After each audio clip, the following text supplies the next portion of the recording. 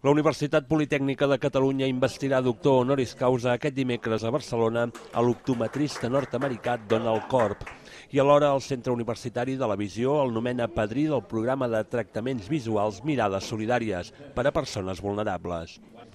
Aquest dilluns la Facultat d'Òptica i Optometria de Terrassa s'ha sumat al reconeixement a l'eminent investigador i inventor clínic dedicant-li un espai de la nova ampliació de la facultat.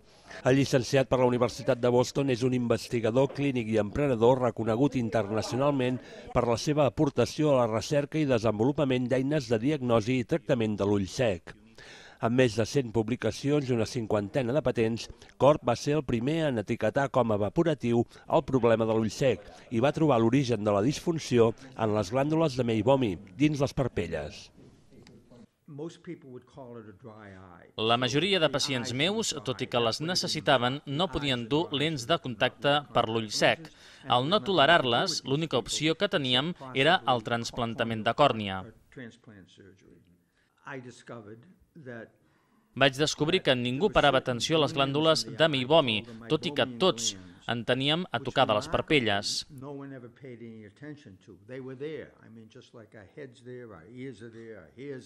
Només es tenien en compte si en malaltien. Jo vaig comprovar que d'aquí podien venir les complicacions per l'ull sec.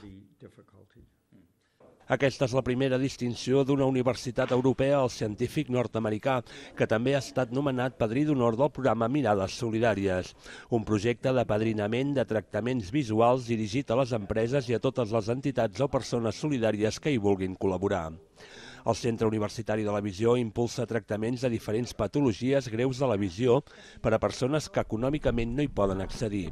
Un programa que també contribueix a l'especialització de nous facultatius quan detectem en alguns pacients d'aquests que ens deriven als serveis socials que necessiten eh, aquests serveis especials, sigui de baixa visió, sigui de teràpia visual o de lents de contacte amb còrnies irregulars, doncs mirar de proporcionar-ho. Això necessita doncs, més recursos, tenir una base de pacients prou àmplia com perquè es puguin augmentar i fer de manera més regular aquestes pràctiques d'especialització pels nostres estudiants, siguin de grau, siguin de màster, amb diferents modalitats que podem tenir.